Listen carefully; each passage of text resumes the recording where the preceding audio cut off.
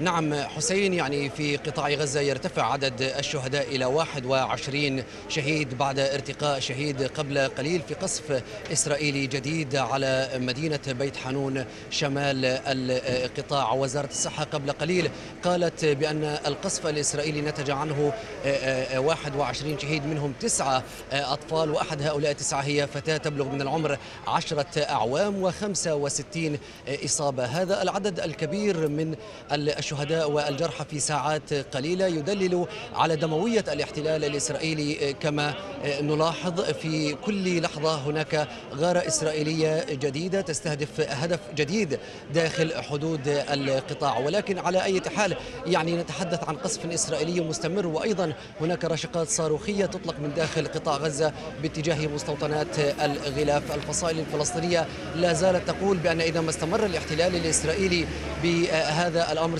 ستستمر هي أيضا بإطلاق راشقاتها الصاروخية. نلاحظ الآن سيارات الإسعاف تخرج من مستشفى الأندونيسي في شمال القطاع والذي يتواجد فيه تسعة من الشهداء الذين ارتقوا قبل قليل. يبدو أن هناك إصابات جديدة في القصف الإسرائيلي الأخير على شمال قطاع غزة وقد هرعت سيارات الإسعاف للوصول. لمكان الاستهداف هذا. ولكن يعني رغم هذه الحركة النشطة لسيارات الإسعاف إلا أننا لاحظنا قبل قليل بأن هناك أزمة في سيارات الإسعاف وعددها القليل في شمال القطاع بالتحديد خصوصا وأنه هو المنطقة الأكثر استهدافا من قبل الاحتلال الإسرائيلي. لاحظنا في أقل من ساعتين أكثر من 15 غارة إسرائيلية على شمال القطاع. منها غارات كانت على منازل المواطنين وغارات أخرى كانت على مواطنين في الشوارع وهم يتجولون في الشوارع إضافة إلى استهدافهم لدراجة نارية كان يستقلها أحد المواطنين في منطقة جباليا البلد في شمال القطاع. على ما يبدو بأن الاحتلال الإسرائيلي لا زال مستمر في هذه الغارات الإسرائيلية ومستمر في استهداف المدنيين. حركة حماس قالت بأن هذا الاستهداف للمدنيين لن تقف الحركة وفصائل الفلسطينية المسلحة مكتوفة الأيدي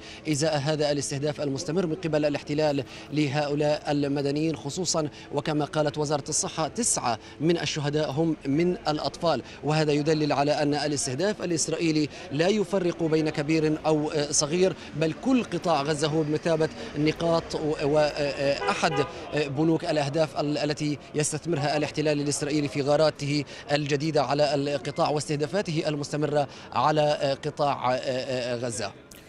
ولكن نعم الآن يعني نلاحظ بأن تفضل أكمل. نعم حسين يعني نلاحظ نلاحظ نلاحظ بأن عدد المواطنين الذين أصيبوا بالهلع وهرعوا إلى المستشفيات يزداد. منهم من أصيب بالهلع ومنهم من جاء ليطمئن على ذويهم الذين أصيبوا جراء هذا القصف الإسرائيلي المستمر. في كل لحظة نلاحظ بأن سيارات الإسعاف عادت بإصابة أو بشهيد إلى مستشفى الأندونيسي كونه هو المستشفى الأكبر والأضخم داخل في شمال القطاع.